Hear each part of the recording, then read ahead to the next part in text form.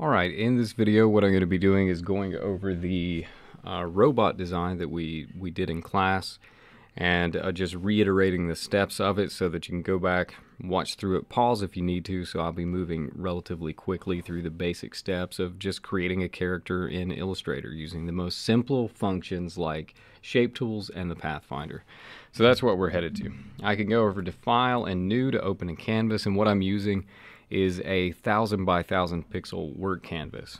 And this is basically just having open table space. That's more or less what we're doing. If I was doing something like a business card or a, a postcard, etc., I would size it to the appropriate dimensions of that. But if we're dealing with just workspace, a thousand by thousand pixels is ideal for me anyway. That's the kind of thing that uh, designers will inevitably argue about, but that's all we need here. So what we're going to be using basically is just the arrow tool at the very top, uh, which is the selection tool, not to be confused with the one right beneath it. So in general, your default position should be that arrow key over at the top. And then on the left, just a few spaces beneath that, you'll see either the rectangle tool or the ellipse tool sticking out. And if you click and hold, it's going to show you the variety of tools that you have at your um, at your beck and call, we'll say.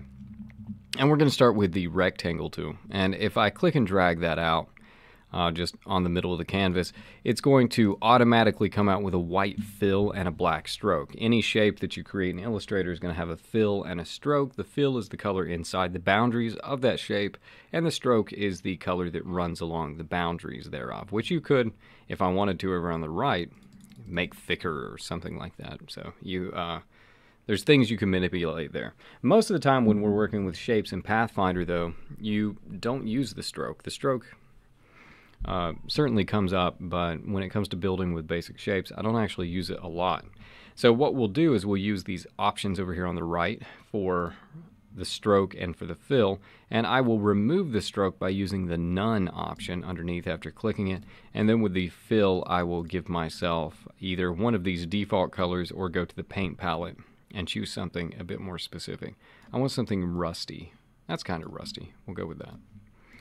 Uh, I can always make adjustments to this uh, shape now that I have it put in. I can take the bottom and shorten it, lengthen it, etc., get it to where I want it to be. That's about right. And then I'll go over and grab the ellipse tool by clicking and holding on the shape tool, get to the ellipse tool. And what I'm wanting here is a fully proportionate circle that is the same width as the rectangle. And Illustrator makes this extremely easy to do. And what this will give us is this perfect arch, this uh, half circle uh, dome across the top of the shape.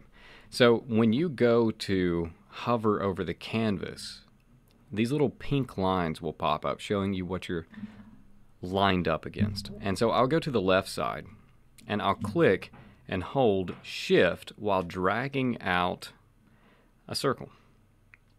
It will kind of stop me once I reach the edge. And I'm holding shift so that it doesn't get squished like this. If I let go of shift and I've still got the, the mouse clicked in, I've got this wibbly wobbly thing going on. If I hold shift, we're going back to a perfect circle. I can hit the edge, line it up perfectly, and put down that ideally sized circle, and then go back to my arrow and just kind of shift this thing up until the pink lines pop up and tell me this is lined up at the exact midpoint of the circle with the top edge of the rectangle. And then I've got this perfect seam. It looks like a traditional arched window. And this is what we're going to use for the basic body.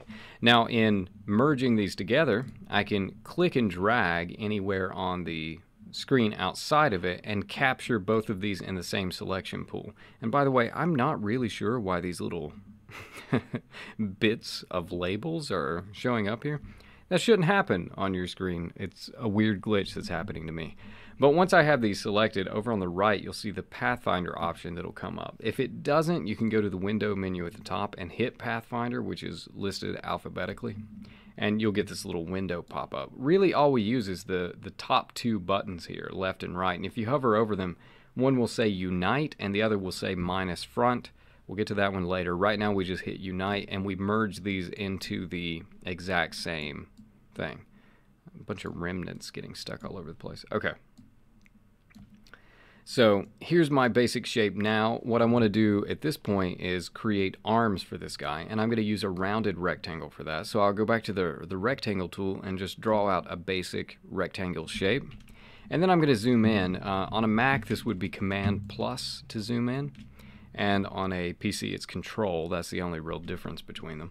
And then I'm going to take these little four dots that you see here. In the corner of the rectangle, there's a little dot in each corner and I can take that and pull it in to round off the edges and get a rounded rectangle effect. Then I'll go back to my arrow at the top, hover just outside the boundaries of the corner, and that'll give me the ability to rotate the thing. So I can get a little bit of a rotation going. And then, after I've done that, we go into the cutting phase. And this one is a, a little bit more complex. So I'm going to zoom out a little bit. What I have to do is to create a new shape that covers up the area of the old one that I want to trim off. And so I'm going to create a large free-floating rectangle, just cover up the part of the arm that I want to remove. Select them both, just like I did before, but in this case I'm going to use minus front, which takes the uh, shape on top and uses it to shear through the shape on the bottom. So I hit that button, I've got a free floating arm right here that I can hover just outside, create a little gap between my figure and the arm to keep those sections separate from each other. Now, if I want two of those, I can just copy and paste using Control C, Control V. If you're on a Mac, it's Command C, Command V. Now I've got two of them. And there is a flip option that you actually get over here for flip horizontally, flip vertically. Uh, you can also do object transform reflect up at the top uh, to create a reflection of the original. And then you've got same arm both ways, nice and uh, split out.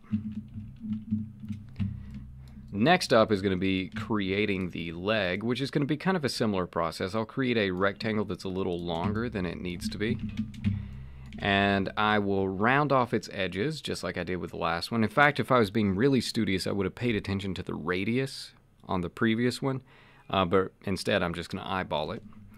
And once I've got that done, I'm going to take another rectangle and just kind of cut off the top here so that I can get a leg of the appropriate size. And I want it to be rounded at the bottom and flat at the top, so I'll use minus front to accomplish that. Now I've got flat at the top, rounded at the bottom.